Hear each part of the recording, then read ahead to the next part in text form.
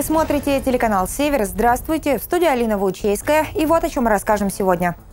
В Ненецкой тундре продолжаются торжества по случаю главного праздника кочевников – Дня оленя. В нашем эфире большой репортаж с полуострова Канин. Море, солнце и песок. Как и в каких условиях отдыхали дети из Ненецкого округа на Черноморском побережье в оздоровительном комплексе «Дружба» смогла оценить съемочная группа телеканала «Север». В российских школах могут появиться шкулфоны. Гаджетом можно будет пользоваться на уроках. Чем же помешали привычные смартфоны и какие опции будут доступны в новом устройстве? Об этом мы не только расскажем в ближайшие 20 минут. Президент России Владимир Путин произвел ротацию Президиума Госсовета Российской Федерации. Соответствующее распоряжение главы государства опубликовано в пятницу на официальном портале правовой информации. Согласно документу, в Президиум Госсовета вошли 8 глав субъектов Российской Федерации, в том числе губернатор Ненецкого округа Александр Цибульский. Государственный совет является совещательным органом при президенте России. Для решения оперативных вопросов формируется Президиум Госсовета из 8 человек. Персональный состав Президиума определяется главой государства и подлежит ротации один раз в полгода.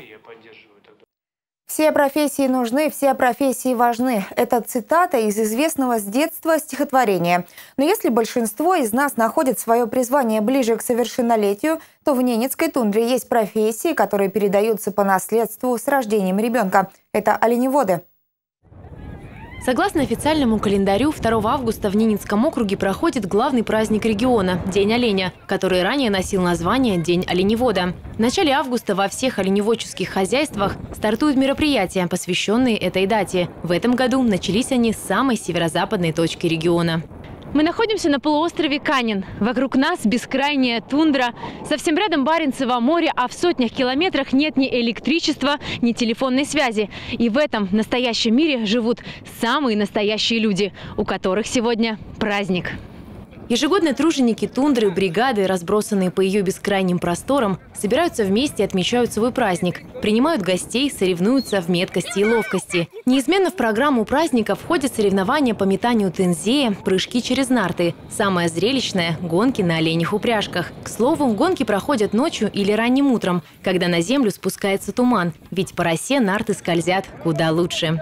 Есть у хозяев тундры общая черта – скромность. То ли образ жизни диктует такие правила, то ли суровый север не позволяет быть слишком эмоциональными. Таков и потомственный оленевод Валерий Ваучейский. Он всю свою жизнь прожил в Ненецкой тундре, здесь трудится и воспитывает сыновей, которые не хотят уезжать в город. Просторы севера им ближе и дороже. Работаете на неделе, легко не будет, правильно? Также у нас тоже, также куда-то бывает тяжело, куда-то легко бывает. Каждому свое, кто как привык детства. Яна Григорьевна, так представилась наша маленькая бесстрашная знакомая, родилась и жила до начала школьных лет в тундре. Теперь она учится в Невской школе и приезжает в гости к родителям только на каникулах. Она очень любит спорт и хотела бы стать ботаником, чтобы изучать цветы. Ну, я так-то живу в Неси, у меня школа там. Я живу в Неси, а до того жила тут. Тут бродят, тут бывают росомахи, ходят и медведи, и эти лисы. Ты их видела сама? Да, я видела медведя. Волки тоже тут бродят. Ничего себе, не страшно?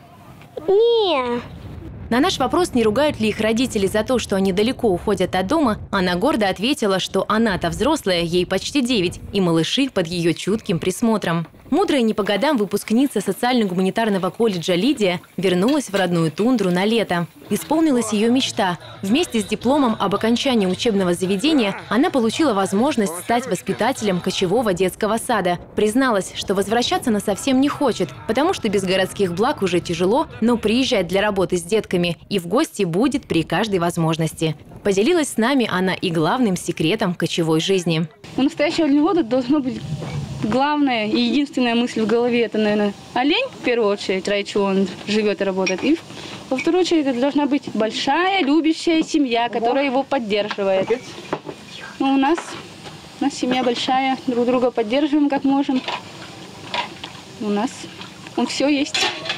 Тянет в Морошковые края не только уроженцев этих мест, но и гостей из далеких городов. Так Игорь Шипков, побывав однажды на Ненецкой земле, возвращается сюда снова и снова, найдя здесь вдохновение для творчества. Русский север – это гордость наша, то, что это у нас есть. Здесь эм, душа восстанавливается энергетически.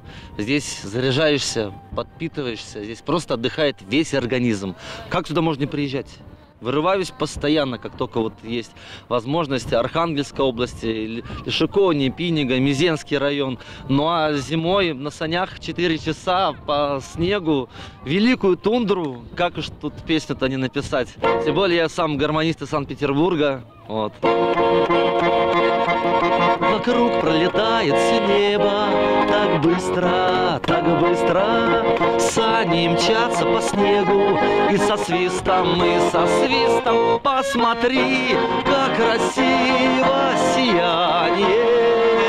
Это снежное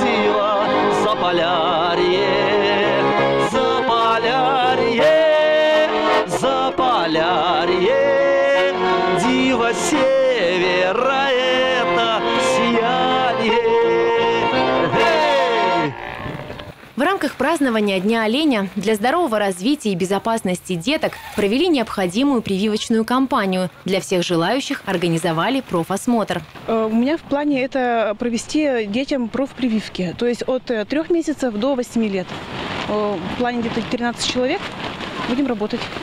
Прилетел на праздник и глава региона Александр Цибульский. Поездка губернатора на полуостров Канин носила не только праздничный, но и рабочий характер. Вместе с главой региона в ней приняли участие представители окружного собрания депутатов и профильных органов исполнительной власти Ненецкого округа, глава Заполярного района. Конечно, оленеводство, я это много раз говорил, имеет большие перспективы. И сегодня, на мой взгляд, она находится на таком переломном этапе, когда просто надо сделать один шаг, чтобы сделать его более современным, более механизированным и отвечающим тем возможностям условиям, которые сегодня диктует жизнь. Мы много для этого делаем. Действительно, оленеводство и поддерживаем. В этом году мы поддержали больше, чем на 250 миллионов в общей сложности. Сельское хозяйство, большую часть, конечно, оленеводства. В прошлом году это было чуть меньше, порядка, по-моему, 220 миллионов. Э, И будем идти, и будем наращивать эту поддержку, и будем стремиться к тому, чтобы оленеводство становилось действительно такой основой экономики сельского хозяйства нашего региона. Мы в этом году запустили, мне кажется, очень правильную программу в нашем колледже, впервые за много лет, э, и э, выбрали новую профессию, оленевод-механизатор. Тем самым хотим как раз вот молодежь учить уже тем новым тем новым возможностям, которые им предоставляет современная техника и технологии, и вот для того, чтобы вести вот этот традиционный образ жизни. И на стыке вот здесь технологий и традиций, как раз, мне кажется, есть будущее.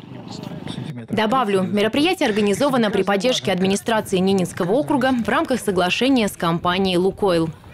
Екатерина Дементьева, Владислав Носкин, телеканал «Север». Море, солнце и песок. Детский оздоровительный комплекс «Дружба» располагается на живописном побережье Черного моря в Лазаревском районе Сочи. В 2019 году здесь в общей сложности отдохнули и поправили здоровье 219 детей из Ненецкого округа, находящихся в трудной жизненной ситуации. В их числе 120 детей из сельских населенных пунктов округа – Бугрино, Великовисочного, Варныка, Каратайки, Красного, Макарова, Нельминого Носа, Неси, Чижи, Омы, Снопы, Тельвиски, Усть-Кары, Харивера и Щелина. Детский лагерь «Дружба» находится в Сочи в поселке Макапсе, в 100 метрах от Черного моря в лесопарковой зоне. Территория лагеря «Дружба» представляет собой субтропический парк с кипарисами, пальмами, монголиями и платанами. Работаем мы э, сезонно, то есть в летний период времени. Принимаем детей со всей страны. В, настоящий момент у нас находятся дети на оздоровлении из э, Республики Татарстан, Наринмара, э, Московская область, Ростовская область и дети наши кубанские. Вот. Смена осуществляется по 21 дню. Э, Большой педагогический состав, у нас порядка 70 человек. Э, Особое внимание уделяем, прежде всего, безопасности, комфортному, доброму отдыху детей. Вся наша работа направлена на то, чтобы дети получали хорошие эмоции, позитивные. Детский лагерь вмещает в себя 500 человек. Дети в лагере «Дружба» расселяются в двух трехэтажных корпусах в трех-пяти местных номерах. Для удобства – раковины, душ и туалет на этаже. В лагере имеются столовая, медицинский кабинет, стадион, баскетбольные и волейбольные площадки, футбольное поле, настольный теннис, брусья и турники, библиотека, киоски. Директор лагеря Александр Вахтуров признается, что работа с детьми очень непростая. Работа нелегкая, конечно, у нас. И, что тут сказать, дети бывают разных категорий, конечно. Для этого э, и есть педагогический состав, который работает постоянно. Это и психолог, и начальник, заместитель начальника лагеря, вожатые, воспитатели. Ну, это наша работа. То есть мы не делим детей на богатых и бедных, на веселых, озорных там, или трудновоспитуемых. У нас сотрудник ПДН на постоянной основе, прикомандированный сотрудник ПДН, капитан полиции. Весь сезон курорт находится у нас на территории, проживает.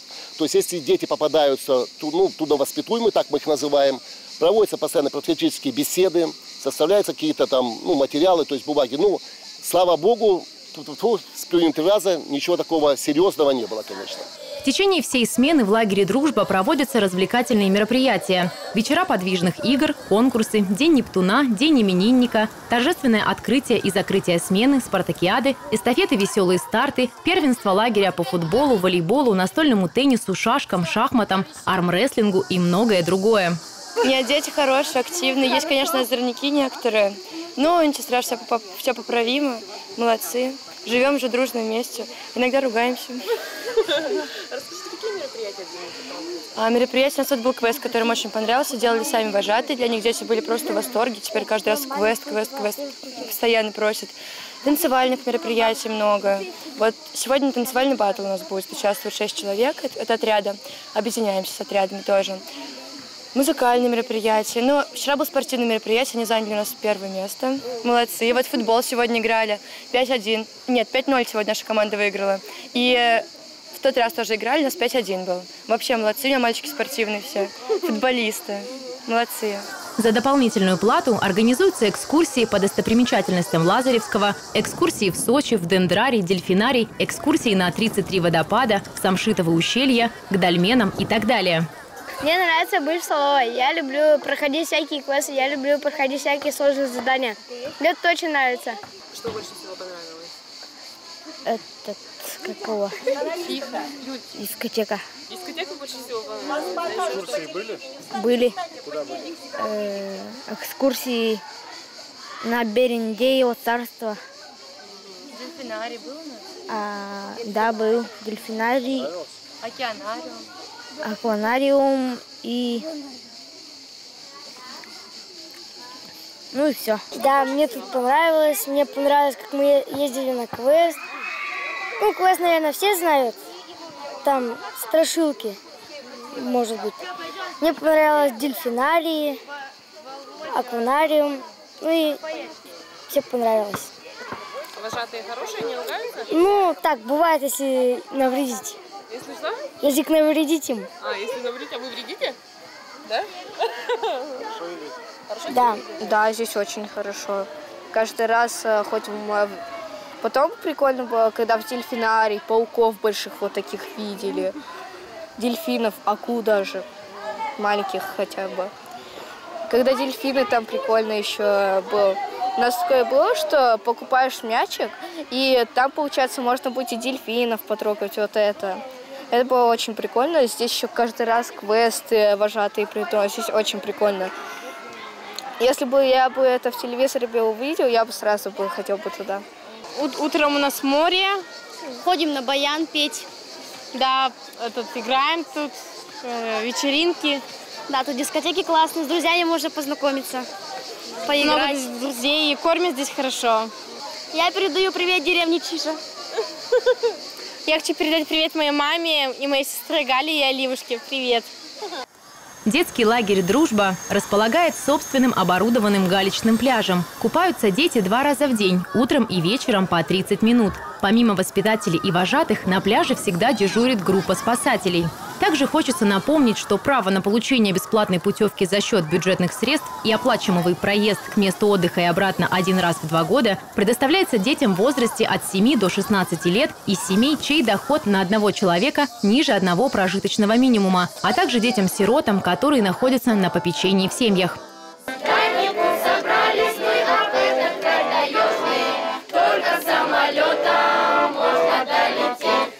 Александра Бобрикович, Екатерина Дементьева, Вадим Стасюк, телеканал «Север». Сочи, поселок Нижняя Макапсе. У российских школьников может появиться новый гаджет, так называемый скулфон. В отличие от обычных смартфонов, его можно будет использовать на уроках. Чем помешали привычные смартфоны и какие опции будут доступны в новом гаджете? На эти и другие вопросы искала ответ моя коллега Наталья Кислякова. Надо строго какие-то правила вынести, что вот нельзя когда включать, да что да. А если после уроков или на перемене, если, например, моему внуку, мальчику что-то надо сообщить маме, так почему бы и нет? Ну, наверное, лучше запретить. Почему? Потому что дети на уроках сидят в телефонах э, и плохо воспринимают информацию. Положительно. Положительно? Почему? А чтобы дети не отвлекались на телефоны, на игры. Ну, как, как бы отвлекают, да, телефоны-то, они бывают и на уроках, наверное, играются. Так-то, угу. да. Опять, с другой стороны, опять надо, чтобы ребенок со школы пришел, он позвонит, что идет домой. О том, что мобильные устройства мешают проведению уроков, говорят не только родители, но и учителя. В уставе школ даже есть пункт, который запрещает использование гаджетов во время учебного процесса. Однако зачастую его не соблюдают. Бывают ситуации на уроках, что мешают действительно настолько сильно, что учитель начинает нервничать, ребенок отвлекается. А, бывают ведь ситуации такие, что ребенку звонят в середине урока, он просто встает и выходит из класса. Мне надо ответить. Он говорит, мне нужно ответить. Выходит и говорит, звуки, многие дети звук не отключают. И иногда возникает очень тяжелая конфликтная ситуация на уроке. Учитель объясняет материал, ребенку звонят, он встает, выходит, не отключает звук. Это тоже ненормальная ситуация. Ненормально. То есть здесь проблему, конечно, нужно решать. А вот э, в уставе школы э, там есть такое положение, они запрещают пользоваться телефоном на уроках, но однако не всегда оно соблюдается. Впрочем, глава комитета Госдумы по образованию предложил Ростеху разработать альтернативу современному смартфону «Школфон». В устройство на аппаратном уровне зашьют все необходимые приложения и фильтры, а также контакты родителей, учителей и одноклассников. Наш эксперт, журналист Михаил Веселов, который активно участвовал в обсуждении такого нововведения в социальных сетях, подсчитал, сколько будет стоить переход на «Школфон» и при условии стоимости одного аппарата 5000 рублей.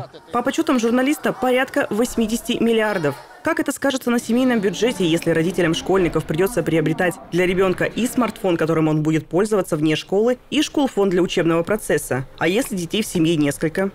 Что касается дополнительной нагрузки на семейные бюджеты, э, связанные с приобретением, с необходимостью приобретения школфонов. Ну, наверное, надо идти государству по тому же пути, как и с э, организацией питания в школах те семьи, у которых э, ну, низкий доход, э, для которых станет ну, серьезным бременем приобретение еще одного гаджета.